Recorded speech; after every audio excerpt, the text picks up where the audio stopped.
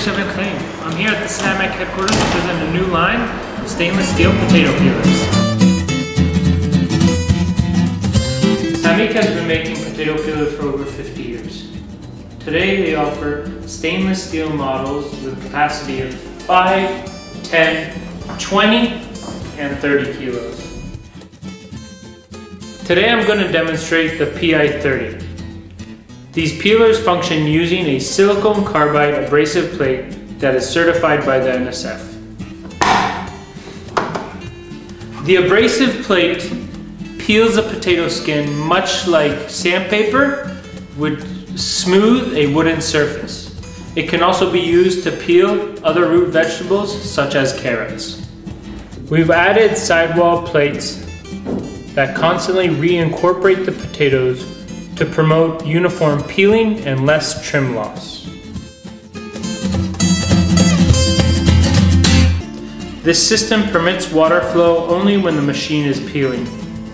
Eliminating manual water intake reduces consumption to a sustainable level. This transparent cover allows you to visually monitor the peeling process. On the waterproof control panel, we have the start and stop buttons and a dial for a controlled setting or a continuous run setting. Normally, two minutes is sufficient but peel time varies with potato type and skin thickness. The top operates with a safety function.